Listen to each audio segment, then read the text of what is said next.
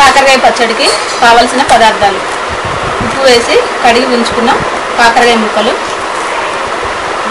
ఉప్పు వెల్లుల్లిపాయలు చింతపండు కొద్దిగా పసుపు కారం పోపు దినుసులు ఎండుమిర్చి ఆయిల్ కరివేపాకు మెంతులు ఆవాలు. ఈ రెండు కూడా మనం పౌడర్గా పట్టుకోవాలి. నెక్స్ట్ మనం కుక్కర్లో కాకరకాయ ముక్కలు వేసుకొని దీంట్లోనే కొద్దిగా పసుపు కొద్దిగా ఉప్పు కొద్దిగా వాటర్ వేసుకున్న తర్వాత కుక్కర్లో ఒక రెండు విజిల్ వచ్చేంత వరకు ఉడికించుకోవాలి.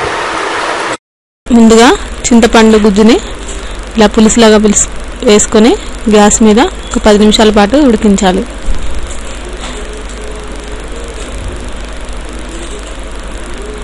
కుక్కర్లో మనకి కాకరకాయ ముక్కలు ఉడికిపోయిన తర్వాత డీప్ ఫ్రైకి ఆయిల్ సరిపడా వేసుకోవాలి.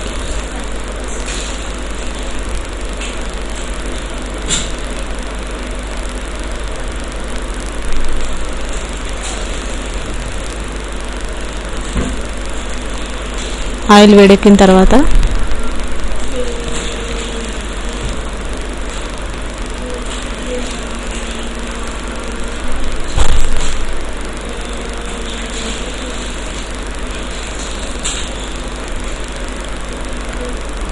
కాకరకాయ ముక్కల్ని మనం ఆయిల్లో వేసుకొని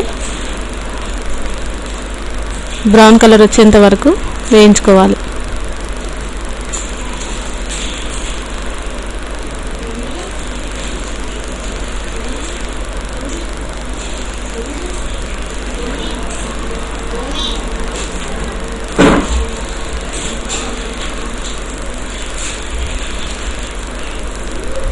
ఇట్లా మనం బ్రౌన్ కలర్ వచ్చిన తర్వాత ఉడికించుకున్న చింతపండు గుజ్జులో కాకరకాయ ముక్కల్ని వేసుకోవాలి.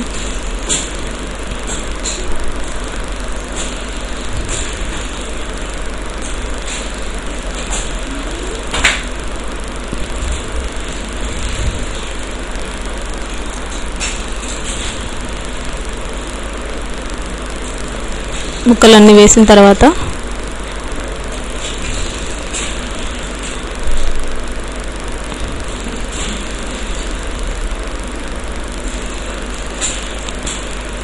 చింతపండు రసం కూడా ముక్కలకు అన్నిటికీ పట్టేలాగా కలుపుకోవాలి.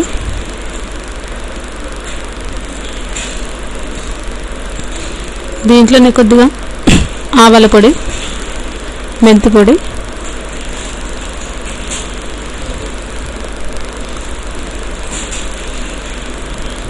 వేసుకున్న తర్వాత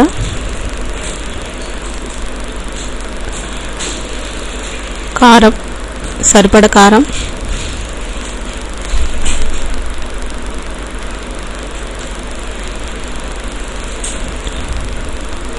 అన్నీ కూడా మిక్స్ అయ్యేలాగా కలుపుకోవాలి.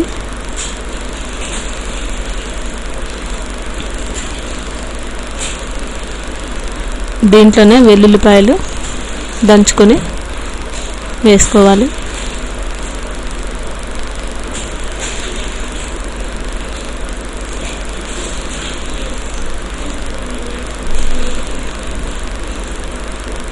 నెక్స్ట్ మనం పోపుకి ఆయిల్ వేసుకొని దాంట్లో తాలింపు గింజలు ఎండుమిర్చి కరివేపాకు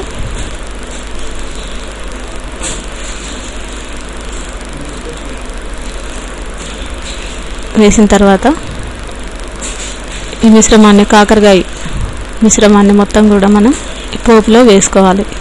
కొద్దిగా పసుపు వేసుకున్న తర్వాత